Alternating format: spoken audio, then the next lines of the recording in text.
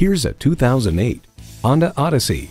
You have responsibilities. That's why you have an Odyssey. You like to have fun. That's why you drive a Honda.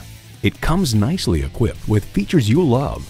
AM FM satellite radio, power sliding left and right rear passenger door, front heated leather bucket seats, auto dimming rear view mirror, power windows, dual zone climate control, V6 engine, power sliding and tilting sunroof, gas pressurized shocks, and power heated mirrors.